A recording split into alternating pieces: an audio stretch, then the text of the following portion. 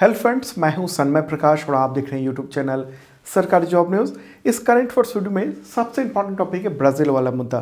संसद, supreme court, Rashtrapati Bhavan, इन सब पर हमला कर दिया। प्रदर्शनकारियों ने दंगा हुआ और ज़बरदस्त तोड़फोड़ हुई है। वहाँ के राष्ट्रपति को पद से हटाने की कोशिश की गई। बहुत बड़ी घटना है और इस पर भारतीय प्रधानमंत्री नरेंद्र मोदी ने भी टिप्पणी की है।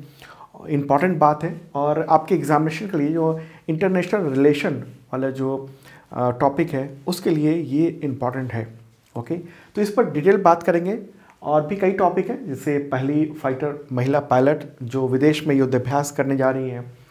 भारत में विदेशी यूनिवर्सिटी के कैंपस खुलने जा रहे हैं। यूजीसी ने ड्राफ्ट जारी किया है तो इसके बारे में बात करेंगे। सत्रहवें प्रवासी भारतीय दिवस, उस पर कई क्वेश्चन हैं और भी कई मुद्दे हैं अलग अलग जो आप देख रहे हैं। तो इन सब पर चर्चा होगी दोस्तों। तो शुरू करते हैं दोस्तों, और उससे पहले एक इन्फॉर्मेशन कि 2022 का जो करंट फोर्स का बुक है आपके एग्जामिनेशन के लिए अवेलेबल हो चुका है। सरकारी जॉब न्यूज़ के ऐप पर, या आप इस वीडियो के डिस्क्रिप्शन में चेक कर लेना, वहाँ पर लिंक भी अवेलेबल है। और ये बुक जो है ना, उसमें एमसीक्यू है, और साथ में, जैसे मैं आपको बताता हूँ वीडियो में डिटेल नोट्स भी दिए गए हैं। ताकि एग्जामिनेशन की तैयारी आपकी बेहतरीन हो सके। और इसके लिए आप एक मेंबरशिप भी ले सकते हैं। उसके ज़रिए आपको मिलता है पीडीएफ पिछले सालों के भी और अगले सा, एक साल तक। और मॉक टेस्ट और टेस्ट सीरीज़ तमाम एग्जामिनेशन के लिए वो आप दे सकते हैं। बुक्स में छूट भी मिलती है। तो डिस्क्रिप्शन चेक कर लेना। आप ही के लिए बेहतरीन कंटेंट तैयार किया गया। तो अब चलते हैं मुद्दे पर। तो क्वेश्चन होगा पहला, दक्षिणी अमेरिका महाद्वीप के किस देश के संसद, सुप्रीम कोर्ट और राष्ट्रपति भवन पर प्रदर्शनकारियों ने घुसकर तोड़फोड़ किया? बीबीसी ने इस पूरे मुद्दे को हमला करार दिया है। ठीक है, आंसर होगा ब्राज़ील, ओके? और न्यूज़ आप देख रहे हैं। और भारतीय प्राइम मिनिस्टर ने इसको कंडेम किया है। इस पूरे मुद्दे को समझते हैं उससे पहले देखते हैं मैप ठीक है मैप के ज़रिए ही समझेंगे। प्यारा भारत है और ब्राज़ील कहाँ पर है? ब्राज़ील है दक्षिणी अमेरिका जो महादेश है वहाँ पर। और इस जगह पर ये रहा ब्राज़ील। और इसी के राष्ट्रपति अभी कौन है? लूला है। ठीक है? और पूर्व राष्ट्रपति बुल्सोनारो। और यहीं की इसी की राजधानी है ब्राज़ीलिया। और ये पूरा जो सत्ता का केंद्र है, ये देख रहे हैं आप। यहाँ संसद है सुप्रीम कोर्ट, राष्ट्रपति भवन और तमाम मंत्रालय हैं। ये वाला जो हिस्सा है, ये है नेशनल कांग्रेस कहिए उसको या कह सकते हैं संसद। यहाँ वाला हिस्सा। इधर दूसरी तरफ़ जो है, वो है राष्ट्रपति भवन और यहाँ पर ये सुप्रीम कोर्ट है। तो पब्लिक जो है ना, यहीं पर भीड़ लगा के पहुँच गई, बहुत बड़े पैमाने पर। देखिए, वोटिंग में हार के बाद भी हार नहीं मान रहे हैं। ब्राज़ील के पूर्व राष्ट्रपति जैर पोल्सनारो तो उसके समर्थकों ने राष्ट्रपति भवन नेशनल कांग्रेस यानी संसद और सुप्रीम कोर्ट पर कब हमला बोल दिया आठ जनवरी को। राष्ट्रपति लूला वो उस वक्त वहाँ नहीं थे और वो बाल बाल बचे क्योंकि हज़ारों हज़ारों की संख्या में भीड़ वहाँ पर पहुँच गई थी। अब देख रहे हैं किस तरीके से पूरे संसद पर कब्जा है दू, दूसरी तरफ़ सुप्रीम कोर्ट पर कब्जा है और पूरा तोड़ फोड़ कर दिया। मतलब बुलेट प्रूफ कांच लगे थे, उसे ज़बरदस्ती बहुत ज़ोर लगाकर तोड़ डाला गया वहाँ। ठीक है? और राष्ट्रपति लूला जो है ना, वो इस हिंसा के लिए बलसोनारो को जिम्मेदार ठहरा रहे हैं। और ये जो घटना हुई है, इसको लेकर पूरी दुनिया में चर्चा है, अखबारों में। और इसकी तुलना जो ट्रंप राष्ट्रपति थे, जब उनकी सत्ता खत्म हुई, चुनाव हार गए थे उसके बाद जिस तरीके से वहाँ पर, वहाँ के संसद में जिस तरह से हमला हुआ था, ट्रंप के समर्थकों का, उस तरह की तुलना की गई है इस वक्त। ठीक है? तो ये बहुत ही ज़बरदस्त अजीब व गरीब स्थिति हुई वहाँ पर। जायर बोल्सोनारो, जो पिछले प्रेसिडेंट थे, उनके समर्थकों ने ब्राज़ील की राजधानी में यहाँ पर पौड़ी, बड़े पैमाने पर तोड़फोड़ की, सुरक्षा बैरिकेड को हटा दिया, फेंक दिया छतों पर चढ़ गए, खिड़कियों तो को तोड़ डाला, कई इमारतों में बहुत ही नुकसान किया। और पुलिस ने इसके बाद बड़ी मशक्क़त की, यहाँ पर आँसू गैस और हवाई फायरिंग वगैरह हुई और उसके बाद ये दिख रहे हैं, ये सुप्रीम कोर्ट के अंदर का हिस्सा है। ये नज़ारा आपको दिख रहा है, जहाँ पर पूरा कब्जा हो गया है। और जो जैर बोल्सोनारो है ना, उनके जो समर्थक है, उनका ये कहना था, डिमांड ये थी कि सुप्रीम कोर्ट सेना से कहे कि लूला राष्ट्रपति पद पर नहीं रहे यानी लूला को हटा दिया जाए लेकिन सुप्रीम कोर्ट में जब इतनी बड़ी तबाही हुई है ये रहा सुप्रीम कोर्ट वहाँ पर किस तरीके से ये हुआ है। उसके बाद ये देखने को मिला है कि सुप्रीम कोर्ट ने आ, बहुत ही सख्त व्यवहार अपनाया इन प्रदर्शनकारियों के खिलाफ और सरकार ने भी वहाँ की। तो यहाँ के जो राष्ट्रपति हैं लूला उन्होंने आपातकालीन शक्तियों को ग्रहण कर लिया है और उसके तहत संघीय सरकार की व्यवस्था पर वो काम किया जा रहा है और जो लोग हैं वहाँ पर प्रदर्शनकारी उनको गिरफ़्तार किया गया है बहुत बड़े पैमाने पर। ठीक है। प्राइम मिनिस्टर नरेंद्र मोदी ने इस पर क्या कहा? इन्होंने कहा कि ब्राज़ीलिया में, यानी ब्राज़ीलिया मतलब ये हुआ कि ब्राज़ील की राजधानी। तो वहाँ पर सरकारी संस्थानों के खिलाफ दंगे और तोड़फोड़ की खबरों से बेहद चिंतित हों। सभी को लोकतांत्रिक परंपराओं का सम्मान करना चाहिए। हम ब्राज़ील के अधिकारियों को अपना पूरा समर्थन देते हैं, नरेंद्र मोदी प्राइम मिनिस्टर। ये बहुत बड़ी घटना है। ये बयान देना भी, क्योंकि ये माना जाता है, अगर कहीं प्रदर्शन हो रहा है, कहीं कुछ हो रहा है तो ये उसका आंतरिक मामला मान लिया जाता है। लेकिन यहाँ पर, चूँकि ब्राज़ील के लोकतंत्र पर ही एक तरह से हमला हुआ है, और जो पूर्व राष्ट्रपति हैं जैर बोल्सोनारो उन्होंने और उनके आ, मतलब वो सीधे तौर पर तो सामने नहीं आए लेकिन उनके समर्थकों ने हज़ारों हज़ार समर्थकों ने कोशिश ये की कि ये जो लूला है इधर वाले इनको हटाकर और इनको फिर से पद पर बैठा दिया जाए। चुनाव कब हुआ था ब्राज़ील में? ब्राज़ील में चुनाव हुआ था अक्टूबर 2022 में पिछले साल कई महीने हो चुके हैं। और इस चुनाव में लूला ने जीत हासिल की कितने वोटों से? 21 लाख उनचालीस हज़ार वोटों से हरा दिया था लूला ने जैर बोल्सोनारो को। ओके। और लूला वो राष्ट्रपति पद की शपथ भी ले चुके हैं एक जनवरी को। ठीक है। लूला का पूरा नाम क्या है? लूला का पूरा नाम है लुइज इनासियो लूला डा सिल्वा। ठीक है। तो ये स्थिति हुई है पूरा और बहुत बोल्सोनारो जो है ना, वो लंबे समय से ये दावा कर रहे हैं कि ब्राज़ील की जो चुनाव प्रणाली है, उसमें धोखाधड़ी हुई है। जानबूझकर उनको सत्ता से हटाया गया है और इसके लिए सेना जो है ना, उस और सुप्रीम कोर्ट उनका समर्थन करें। और आखिरकार जो वो बयानबाजी कर रहे थे, जैसे ट्रंप बयानबाजी कर रहे थे, उसके बाद किस तरीके से उनके समर्थकों ने वहाँ अमेरिका में संसद पर हमला करने की, हमला कर ही दिया था, घुस गए थे। वैसा ही स्थिति, उससे भी भयानक स्थिति यहाँ पर हम लोग को देखने को मिल रही है। ठीक है? तो ये कुछ बेसिक बातें यहाँ पर ओके और ये इस तरह का नज़ारा वहाँ पर दिख रहा है। पूरी दुनिया के जो नेताओं हैं, नेता हैं, उन सबने इस पूरे मामले की भर्त्सना की, ठीक है?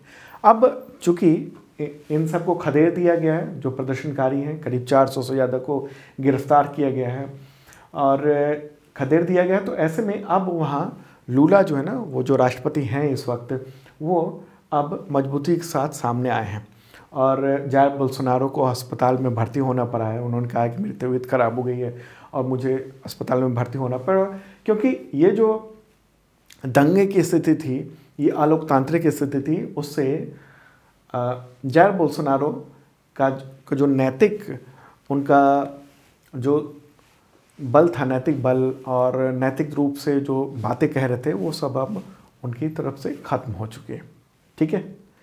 तो बेसिक बातें आपने समझ ली और ये इंटरनेशनल रिलेशन जो टॉपिक है, उसके लिए बहुत ही इंपॉर्टेंट है। चलिए अब आगे बढ़ते हैं, अगला क्वेश्चन आते हैं। और पसंद आ रहा हो तो लाइक बटन ज़रूर दबा देना और शेयर कर दीजिए तमाम मित्रों को। ओके अगला क्वेश्चन महत्वपूर्ण है। देश की पहली फाइटर महिला पायलट का नाम बताएँ, जिन्हें विदेश में युद्धाभ्यास के लिए चुना गया है। विदेश में युद्धाभ्यास करेंगे। ये कहाँ पर होगा? कैसे होगा ये युद्धाभ्यास? तो इंडिया और जापान के बीच में होना है। 12 से 26 जनवरी को जापान में आयोजित किया जाएगा युद्धाभ्यास और इसका नाम है वीर गार्जिन। ओके? वीर गार्जिन युद्धाभ्यास ये जापान में होगा। तो इसमें स्क्वाड्रन लीडर अवनी चतुर्वेदी उनको भी चुना गया है और वो जा रही हैं वहाँ पर। ओके अवनी चतुर्वेदी और 2016 में वो फ्लाइंग ऑफिसर बनी थी इंडियन एयरफोर्स में, और उनके साथ भावना कांत और मोहना सिंह भी 2016 में उनके जस्ट बाद फ्लाइंग ऑफिसर बनी थी। ठीक है? हज़ार अठारह में लड़ाकू जेट विमान जो है मिग 21 वो उड़ा चुकी हैं। स्क्वाड्रन लीडर के पद पर अभी हैं। और आपको पता होगा कि एयरफोर्स की पहली महिला फाइटर पायलट कौन है? अवनी चतुर्वेदी हैं ओके अगर सवाल हो कि राफेल विमान को उड़ाने वाली पहली महिला पायलट कौन है? तो शिवांगी सिंह है, ठीक है? और अगर सवाल हो कि इंडियन आर्मी की पहली महिला फाइटर पायलट कौन है? तो अभिलाषा बड़ाक। चलिए अब आगे बढ़ते हैं, अगला क्वेश्चन लेते हैं। उससे पहले फिर से बता दूँ कि पिछले साल का टोटल उसका करंट फोर्स का बुक अवेलेबल है, ज़रूर देखना अगर आपने नहीं ऑर्डर किया डिस्क्रिप्शन में। आपके एग्जामिनेशन में बहुत काम आएगा। अगला क्वेश्चन सत्रहवा प्रवासी भारतीय दिवस सम्मेलन किस शहर में 8 से 10 जनवरी 2023 को आयोजित हुआ? आंसर होगा इंदौर। तो इंदौर में ये प्रवासी भारतीय दिवस सम्मेलन चल रहा है 8 से 10 जनवरी को। और प्राइम मिनिस्टर नरेंद्र मोदी यहाँ पर 9 जनवरी को 9 जनवरी को इन्होंने पार्टिसिपेट किया यहाँ पर ओके और इसमें आज़ादी के आंदोलन में जो प्रवासी भारतीय हैं, उनके योगदान को प्रदर्शित करने के लिए एक डिजिटल प्रदर्शन भी लगाई गई है। प्रवासी भारतीय दिवस जो है ना, वो 9 जनवरी को मनाया जाता है। प्रवासी जो भारतीय हैं, जो विदेशों में रह रहे हैं भारतीय, उन सब के साथ एक मज़बूत जुड़ाव के लिए ये किया जाता है। अच्छा सवाल ये भी हो सकता है कि 9 जनवरी का महत्व क्या है? क्यों इस दिन प्रवासी भारतीय दिवस मनाए जाते हैं? तो देखिए इसी दिन नाइनटीन में महात्मा गांधी दक्षिण अफ्रीका से भारत लौटे थे और इस अवसर का सम्मान करने और जश्न मनाने के लिए भारत सरकार ने 2003 में ही प्रवासी भारतीय दिवस शुरू करने की घोषणा की हुई थी।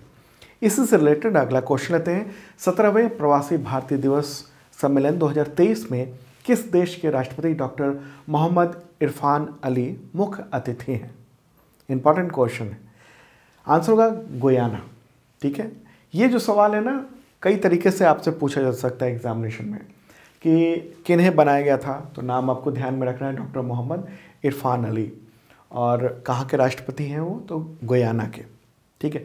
गोयाना कहाँ पर है? गोयाना जो है ना, वो ब्राज़ील का पड़ोसी देश है, छोटा सा देश है, यानी दक्षिणी अमेरिका जो महाद्वीप है, उसका है, ठीक है? और फोटोग्राफ दिखा दूँ प्राइम मिनिस्टर नरेंद्र मोदी के साथ ये हैं। राष्ट्रपति गोयाना के। क्या नाम है इनका? फिर से नाम बता दूँ आपको। डॉक्टर मोहम्मद इरफान अली। और हाँ यहाँ पर एक और नाम लेना बहुत ज़रूरी है। विशेष सम्मानित अतिथि कौन थे? तो सूरी नाम गणराज्य के जो राष्ट्रपति हैं चंद्रिका प्रसाद संतोखी। तो वो विशेष सम्मानित अतिथि थे वो। ओके? चलिए आगे बढ़ते हैं। अगला क्वेश्चन। सत्रहवें प्रवासी भारतीय दिवस सम्मेलन 2023 की थीम क्या है? थीम बताएँ। आंसर होगा प्रवासी अमृतकाल में भारत की प्रगति के लिए विश्वसनीय भागीदार। Diaspora reliable partners for India's progress in Amrit Kaal ठीक है? इससे रिलेटेड कुछ और कंटेंट आएगा। आज 10 जनवरी है तो कुछ और जो अपडेट है, वो कल के कंटेंट में, कल के वीडियो में आपको देखने को मिलेगा।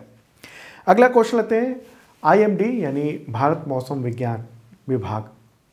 उसकी एक रिपोर्ट आई है, statement on climate of India during 2022 तो इसके अनुसार देश में मौसम के अत्यधिक घटनाओं के कारण वर्ष 2022 में कितनी मौतें हुई हैं?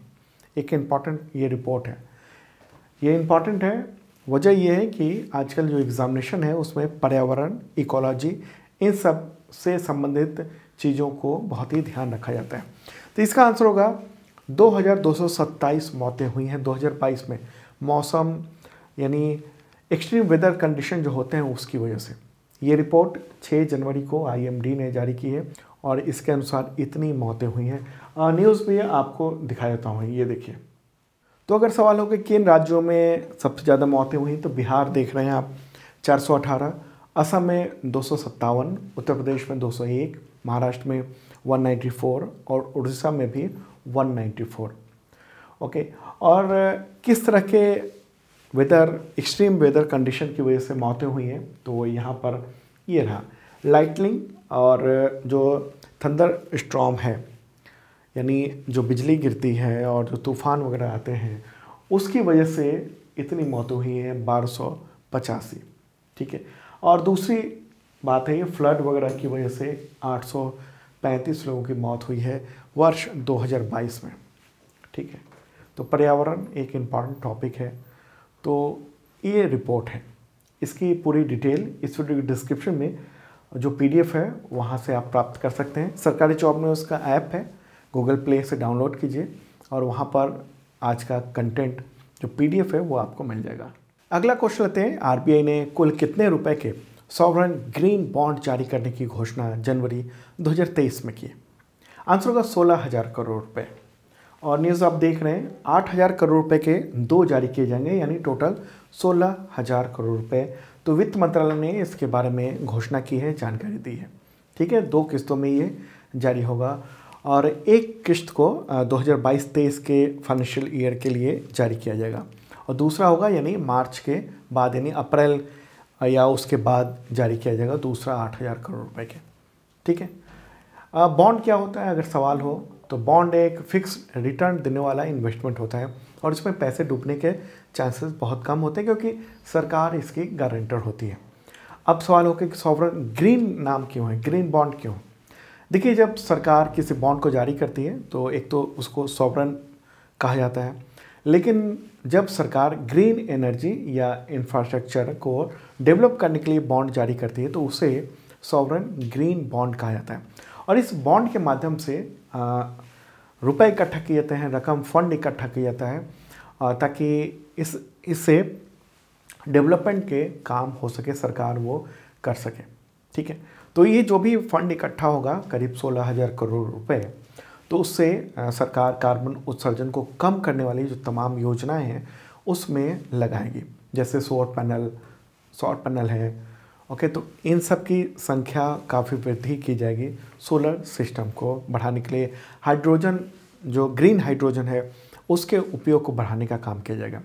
तो आरबीआई ने ये कहा है कि हम बॉन्ड जारी करेंगे। उसके गवर्नर कौन है? आरबीआई के शक्तिकांत दास। आगे बढ़ते हैं अगला क्वेश्चन। उड़ीसा के मुख्यमंत्री ने बिरसा मुंडा हॉकी स्टेडियम का उद्घाटन किया। तो किस ज़िले में स्थित है? आंसर होगा सुंदरगढ़।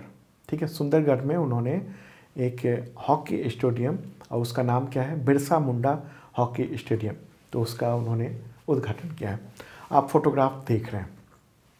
ओके, सवाल ये हो सकता है कि बिरसा मुंडा हॉकी स्टेडियम कहाँ पर उसका उद्घाटन किया गया है? उड़ीसा की बात कर लें, राजधानी क्या है? भुवनेश्वर, मुख्यमंत्री नवीन पटनायक है। गवर्नर कौन है? गणेश लाल अगला क्वेश्चन लेते हैं। मणिपुर में गृह मंत्री अमित शाह ने पोलो खिलाड़ी की 120 फीट ऊँची प्रतिमा का अनावरण किया। तो ये प्रतिमा किस ज़िले में स्थापित की गई है? वहाँ के, मणिपुर के। आंसर होगा इम्फाल, ठीक है? गृह मंत्री अमित शाह ने ये 6 जनवरी को इस प्रतिमा का अनावरण किया, इसको लॉन्च किया है। मार्जिन पोलो कॉम्प्लेक्स में घोड़े पर सवार एक पोलो खिलाड़ी की 120 फीट ऊँची ये प्रतिमा है। देखिए, मणिपुर जो है ना वहाँ पर ये खेल बहुत ज़्यादा खेला जाता है पोलो ओके तो और ये भी माना जाता है कि इस खेल का जन्म स्थान जो है मणिपुर हो सकता है। तो ये एक मूर्ति इसी वजह से स्थापित की गई है। वहाँ जनमानस में पोलो जो है ना, वो बहुत ही रचा बसा है, जैसे आपके दिल में क्रिकेट होगा खेल पर तो वहाँ पर पोलो काफ़ी मशहूर है। आगे बढ़ते हैं, अगला क्वेश्चन लेते हैं। गृह मंत्री अमित शाह ने पूर्वोत्तर के सबसे ऊँचे तिरंगे का अनावरण किया तो ये मणिपुर के किस ज़िले में स्थापित किया गया इसे? पूर्वोत्तर का सबसे ऊँचा। आंसर होगा मोईरांग ठीक है? मोईरांग छः जनवरी को उन्होंने इसका लॉन्च किया है, इस झंडे को। तो पूर्वोत्तर का ये सबसे ऊँचा झंडा कहलाएगा। ठीक है? मणिपुर की बात कर रहे थे हम।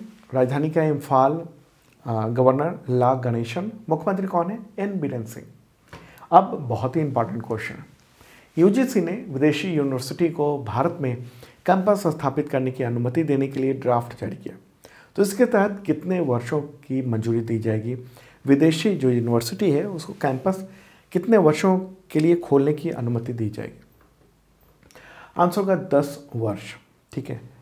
तो यूजीसी यानी यूनिवर्सिटी ग्रांट कमीशन तो उसने फॉरेन यूनिवर्सिटी को, यानी विदेशी यूनिवर्सिटी के यहाँ पर स्थापित करने के लिए कैंपस को, इसके लिए ड्राफ्ट जारी किया है। ड्राफ्ट का नाम है UGC setting up and operation of campus of foreign higher education institute in India regulation 2023 तो इसे जारी किया है और इसमें यही प्रावधान है कि विदेशी जो यूनिवर्सिटी है, उसके कैंपस इंडिया में खोल सकें और उसको 10 साल की एक साथ अनुमति दी जाए।